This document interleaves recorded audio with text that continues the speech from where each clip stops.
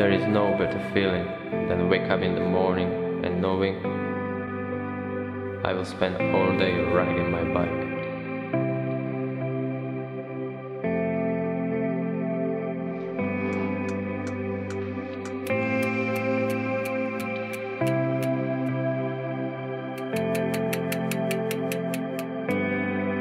I don't care about image or if my bike is the latest model.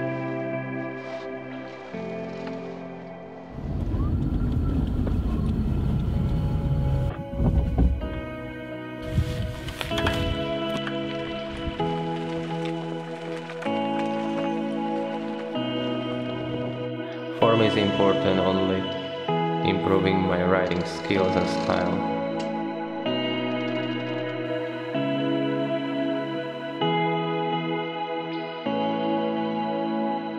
and having fun.